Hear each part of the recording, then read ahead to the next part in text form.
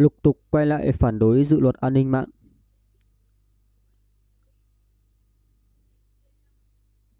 Trong tuần cuối tháng 5 năm 2018, Quốc hội Việt Nam đã thảo luận về dự luật đặc khu kinh tế và dự luật an ninh mạng.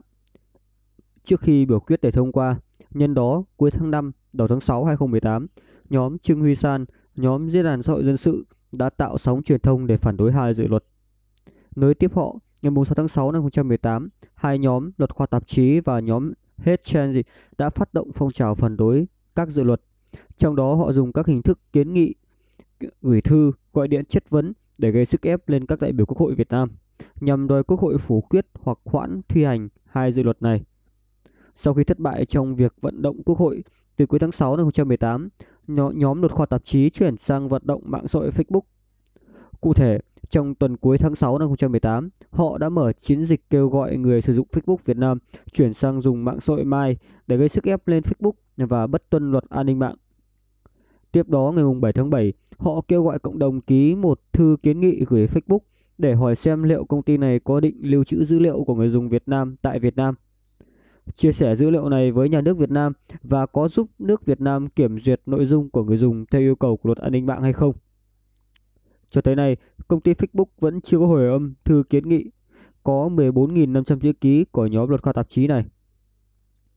Song song với cuộc vận động của nhóm luật khoa tạp chí, từ ngày 20 tháng 6 năm 2018, Việt Tân và tổ chức phóng viên không biên giới cũng vận động một số nghị sĩ, dân dân biểu của Mỹ và Úc phản đối dự luật an ninh mạng của Việt Nam.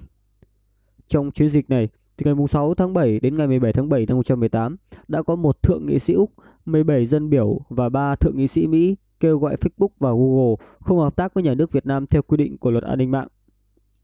Trong khi Thượng nghị sĩ Tùng Ngô đưa ra bài phát biểu trong cuộc họp của Nghị viện tiểu bang Nam Úc, nhóm dân biểu và thượng nghị sĩ Mỹ chỉ gửi thư riêng cho Facebook và Google. Đầu tháng 9 năm 2018, công ty Facebook đã lần đầu bày tỏ quan điểm về luật an ninh mạng của Việt Nam khi trả lời thượng nghị sĩ Marco Rubio trong phiên điều trần ngày 5 tháng 9 tại Ủy ban Tình báo của Thượng viện Mỹ. Bà Sherry Sandbay, đại diện của Facebook đã trả lời công ty này không có máy chủ ở Việt Nam và không bao giờ cung cấp thông tin cho chính phủ Việt Nam, trừ những ngoại lệ ít ỏi khi xảy ra những mối đe dọa nghiêm trọng. Sau đó trong cuộc gặp bên lề Hội nghị Diễn đàn Kinh tế Thế giới ASEAN 2018 diễn ra vào ngày 13 tháng 9, ông Nguyễn Mạnh Hùng, quyền Bộ trưởng Bộ Thông tin Truyền thông của Việt Nam, đã đề nghị Facebook sớm mở văn phòng đại diện tại Việt Nam.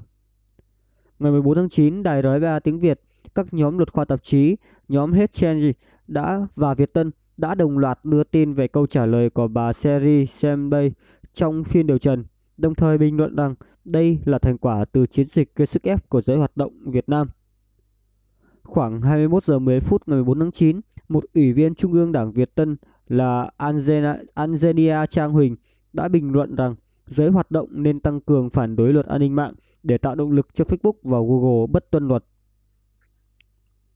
Sau khi xem xét vấn đề, chúng tôi đưa ra ba ý kiến như sau. Thứ nhất, khi luật khoa tạp chí kêu gọi người dùng Việt Nam chuyển sang dùng mạng xã hội Mai để trình, trừng phạt Facebook, họ đã từ bỏ tư cách là người dùng của Facebook của mình. Vì vậy, họ không có tư cách nhân danh khách hàng để viết viết kiến nghị và đòi Facebook thay đổi chính sách. Thứ hai, qua việc công ty Facebook không trả lời thư của luật khoa tạp chí, im lặng sau nhiều cuộc vận động của Việt Tân. Chỉ mới đây, chỉ mới đây, điều trần trước Quốc hội Mỹ có thể thấy công ty này không quan trọng dưới Trung Cộng Việt Nam, xem thường cuộc vận động tẩy chay Facebook của nhóm này. Trong tình hình đó, luật khoa tạp chí, Hedge và Việt Tân nên im lặng để sau chiến dịch vận động thất bại, thay vì khoe công trạng với cộng đồng. Thứ ba, mọi tổ chức và cá nhân hoạt động trên lãnh thổ Việt Nam đều có trách nhiệm tuân thủ luật pháp Việt Nam.